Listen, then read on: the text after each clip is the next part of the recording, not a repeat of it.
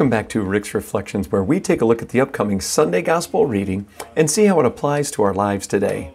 Well, this Sunday is the solemnity of the most holy blood and body of Christ. We're going to hear the Gospel reading where the disciples are preparing for the Passover meal and they're asking Jesus, Where do you want to do this?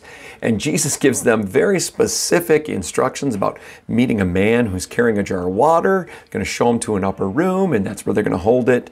And of course, the disciples find exactly that. And then it goes on to say, when Jesus gave the bread and gave the wine, he said that this is my body and this is my blood. You know, I saw some uh, research not that long ago that stated 70% of Catholics that were surveyed do not believe that the true presence is in the bread and the wine at Mass once it is consecrated. 70% do not believe it. And that breaks my heart. You know, I know we get um, encouraged when we see Eucharistic miracles, right? Maybe you've seen some. If you haven't, just go ahead and YouTube that Eucharistic miracles. You'll be amazed. These moments where we get to see definitively that there are miraculous things happening during the consecration of the host.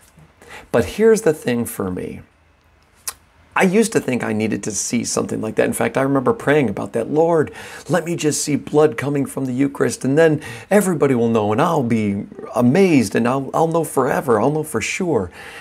But as I continue to find out through other ways in my life that the Lord tells me things and shows me things, I no longer need miraculous signs. I just need to do what He asked.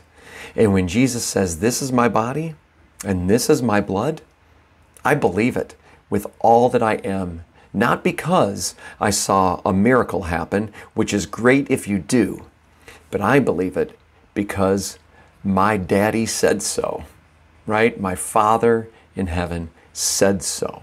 So every time I approach on Sunday or daily to receive the Eucharist, I wholeheartedly say the word Amen so be it. I believe exactly that because my Father said so.